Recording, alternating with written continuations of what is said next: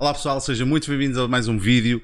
Hoje, conforme eu perguntei na aba da comunidade da página do YouTube uh, qual era a build que queriam para este mês, a uh, maior parte das pessoas escolheu a build de 1200 euros.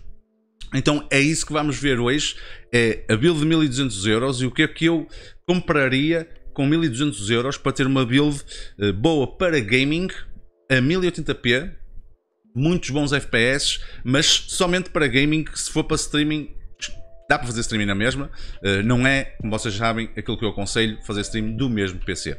Agora, antes de começarmos a ver o que é que eu escolhi para a build, uh, vou-vos pedir um favor, façam subscribe no canal, subscrevam ao canal, uh, carreguem no sininho para ter as notificações, porquê? Porque agora todas as minhas streams são aqui no YouTube. Já não faço streams na Twitch, passei aqui para o YouTube. Se quiserem receber notificação das minhas streams, por favor, carreguem em subscrever, carreguem no sininho para receber todas as notificações. Depois lá embaixo no, na descrição tem também o segundo canal, uh, o canal Velocitech que é de notícias tecnológicas e gaming e o Twitch ou a Twitch da Sofia, uh, da Arcalice, onde ela também faz streams e muitas vezes fizemos, fazemos os dois streams ao mesmo tempo. Então vamos ver agora aqui a build que, fiz, que eu fiz por 1200 euros foi na PC Componentes. Uh, e esta build em específico não terá o custo da, da montagem, porque vocês podem encomendar sem montagem. Se quiserem, têm que acrescentar o, a montagem, que são para aí mais 40 euros, uh, e fica um bocadinho mais cara. No entanto, para quem quer montar a sua máquina, pode fazê-lo uh, por este preço, mandar vir as peças e depois montam vocês o computador. Então vamos ver aqui o que é que conseguimos com uh, os 1200 euros? Começamos pelo processador, é um Ryzen 5 5600X, uh, está a 294 euros, está a um bom preço, uh, 6 cores, 12 threads. Este processador para gaming é muito bom. Há quem diga que se calhar não é uh, o mais barato de 6 cores e para gaming. Muita gente se calhar vai falar do 3600 ou do 11400 ou 10400 que, que seja. Este dá coça a esses todos, é muito melhor processador uh, para gaming do que os outros todos. É um bocadinho mais caro, é, mas também é muito melhor. A nível de motherboard, vamos escolher aqui a B450 Tomahawk Max, é a minha board de eleição custo-benefício. Uh, é a board que eu tenho no meu computador com um 5900X. Uh, esta board por 81 euros está muito bom preço. A board é top, aguenta muito bem o processador, uh, não terão problemas de aquecimento dos VRMs.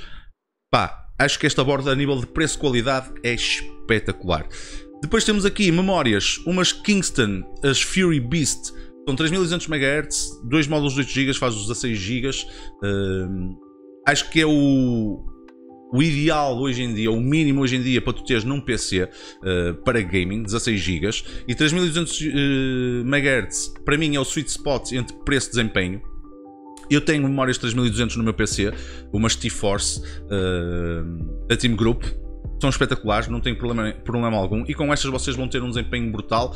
Uh, se melhor que 3600 MHz, se calhar era, compensa o preço, se calhar não. Uh, portanto, eu acho que aqui é o sweet spot eh, ponto de equilíbrio entre preço e desempenho. Disco, temos aqui um Kioxia de 1TB SSD NVMe. Eu tenho exatamente este disco, mas de 500 GB SSD no segundo PC uh, e não me queixo, é super rápido, uh, nunca tive nenhum problema. 5 estrelas e por 113 euros acho que está um preço muito bom para um disco de 1TB SSD NVMe. A caixa, aqui eu tentei cortar um bocadinho o preço da caixa, mas sem descurar um bocadinho uh, o airflow. Então eu escolhi esta da Mars Gaming. Esta Mars Gaming uh, tem três ventoinhas à frente RGB, é mesh à frente, tem o vidro temperado. Uh, a única coisa que eu aconselharia aqui a fazer era colocar uma ventoinha na parte de trás para extrair o calor. Ou se vocês quiserem gastar mais um bocadinho, porem um color a água, o color a água em cima para extrair o calor para fora da caixa. Era isso a única coisa que eu faria. De resto, por 45 euros a caixa está parece-me ser muito boa e pelo preço acho que está. Eh, consigo ter aqui nesta build de 1200 euros Uh, bom material porque poupei um bocadinho na caixa, mas não descurei a parte do airflow que para mim é super importante. A nível de fonte de alimentação, temos aqui uma Seasonic, uma B12 BC Series, 650 watts, 80 plus bronze, uh, chega e sobra para alimentar este computador. Uh, é Seasonic, é uma boa fonte, uh, por isso não terão algum problema. Se quiserem trocar de fonte para outra marca que vocês gostem mais, estejam à vontade, desde que seja mais ou menos entre esta gama de preços, não terão problema em ultrapassar muito os 1200 euros. Depois, a nível de gráfica, aqui temos uma RX 6600 XT. esta gráfica fica entre a 3060 e a 3060 Ti, fica ali mesmo no meio. E eu coloquei esta porque uh, esta aqui Uh, para já, pelo preço, é, primeiro é a única que está aqui na PC Componentes e pelo preço 569 euros, ela é melhor do que a 3060 e a 3060 anda por volta deste preço. Eu prefiro esta em relação à 3060. Temos aqui uma 3060 Ti por 599 euros, uh, é um bocadinho mais e é melhor. Eu preferia essa, só não a pus aqui porque se vocês colocarem essa, uh, essa gráfica aqui, vocês não conseguem adicionar no configurador de PCs. Uh, ou, aliás, para comprarem essa gráfica têm que meter obrigatoriamente o custo da, uh, da, da, montagem do PC para conseguir aquele preço. Por isso é que eu não coloquei, porque quem quiser uh, montar as peças, este é o melhor negócio, uh, porque senão, para além dos, do, dos mais 50 euros que tem que pôr, ou 40 euros a mais que custa a gráfica, tem que pôr mais 40 uh, da montagem já passa por mais 80 euros no custo da máquina, mas se vocês preferirem a 3060 Ti não não vos interessa o dinheiro que vão gastar, podem gastar mais 80 euros, metam a 3060 Ti, ok? Eu não pus por essa razão, acho que este é um bom negócio, uh, mas tem essas duas opções, ou a 3060 Ti ou a 6600 uh, XT. E esta gráfica, para mim, uh, continua a ser das que vale mais a pena comprar neste momento, para quem quer jogar uh, 1080p ou até mesmo 1400. Eles dizem, publicitam esta gráfica com 1080, mas isto para 1440p também não é má, também de certeza conseguem jogar muitos jogos com muitos bons FPS a 1440p. Então a máquina, temos aqui 5600 Tomahawk Max 2, 16 GB de RAM Kingston Fury Beast, um disco da Kioxia de 1TB SSD NVMe, a Mars Gaming é a caixa, temos a fonte da Sonic e a 6600 XT. Fica por 1231,51€, são mais 31 euros com os 1200 euros, acho que não há problema por aí. Uh, se houver, juntem mais um bocadinho e comprem uh, por mais 31 euros.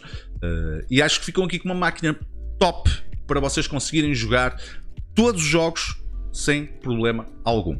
Portanto, esta é a build que eu fiz por 1200 euros. Uh, acho que é uma build muito uh, equilibrada uh, para jogos. Vocês têm um bom processador, uma boa gráfica, boas memórias, bom material e acho que não terão uma experiência má, pelo contrário, terão uma experiência muito boa. Digam por favor o que é que vocês acharam nos comentários. Deixem nos comentários a dizer o que é que acharam desta build. Se gostaram da build, o que é que vocês mudariam na build. Uh, façam um like no vídeo se gostaram. Partilhem com os vossos colegas que estejam à procura de uma máquina dentro destes preços. Uh, e vemos na próxima live ou no próximo vídeo. Não se esqueçam, façam subscrever no canal. Ativem o sininho para receber as notificações quando eu estiver live aqui no canal. Uh, espero por vocês aqui nesta nova etapa de streams no YouTube.